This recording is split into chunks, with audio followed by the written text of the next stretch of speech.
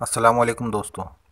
आजकल व्हाट्सएप पर customise sticker का इस्तेमाल बहुत ज़्यादा हो रहा है, जिसकी वजह से अक्सर लोग ये सवाल करते हैं कि स्टिकर किस तरह बनाए जाते हैं।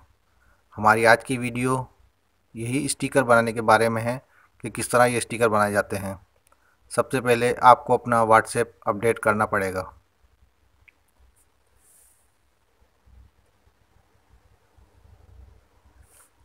उसके बाद प्ले स्टोर से कुछ एप्लीकेशन डाउनलोड करना पड़ेगी।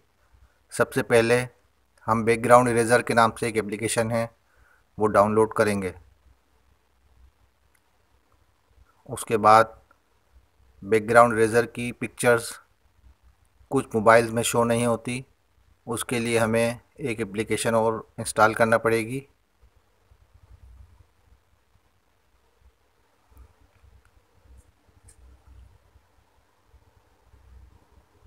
हमारी तीसरी ऐप, जो व्हाट्सएप के स्टिकर बनाने के काम आती है, वो इंस्टॉल करनी है।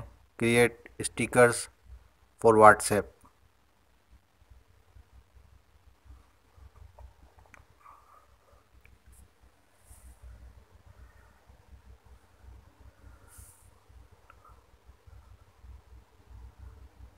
सबसे पहले हम बैकग्राउंड इरेज़र का सॉफ्टवेयर ओपन करेंगे फ़ाइल लोड करेंगे। जिसका हमें बैकग्राउंड इरेज करना है। इसको क्रॉप करना चाहे क्रॉप कर लें। डन पर क्लिक करें। इसके बाद इसका बैकग्राउंड इरेज करने के लिए हम यहाँ ऑटो टूल यूज़ कर रहे हैं। इस पर क्लिक करेंगे बैकग्राउंड इरेज हो जाएगा। डन पर क्लिक करना है। यहाँ बैकग्राउंड का कलर चेंज करना है। और उसके बाद एजिस को स्मूथ करने के लिए इसकी वैली वैल्यू बढ़ानी है।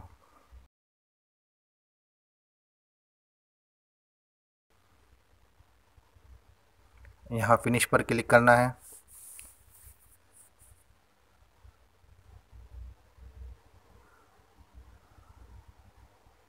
अब हम स्टिकर बनाने के लिए दूसरी एप्लीकेशन ओपन करेंगे। यहाँ से जिसका बैकग्राउंड रेस करा है वो फ़ाइल लोड करेंगे।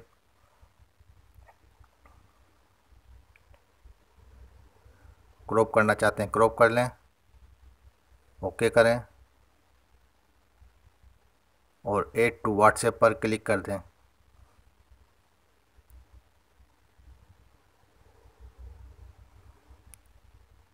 व्हाट्सएप ओपन करेंगे।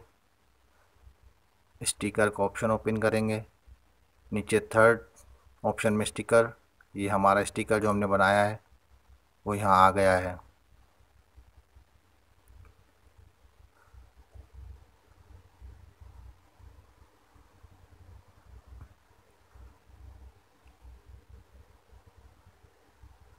उम्मीद है दोस्तों, वीडियो आपको पसंद आई होगी। अगर वीडियो आपको अच्छी लगी तो इसको लाइक करें, फ्रेंड्स के साथ शेयर करें और मेरे चैनल को सब्सक्राइब करें। शुक्रिया।